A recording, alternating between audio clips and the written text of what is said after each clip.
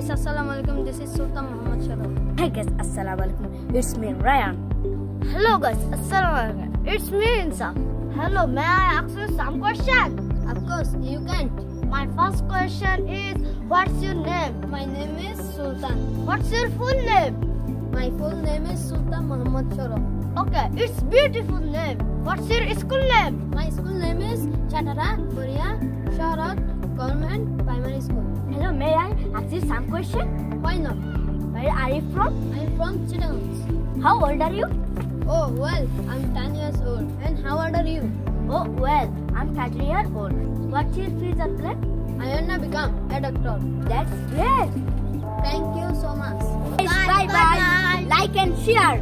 Guys, next video coming. Hello everyone. Actually, spoken English is really very important. So everyone should uh, learn spoken English every day. So, tata.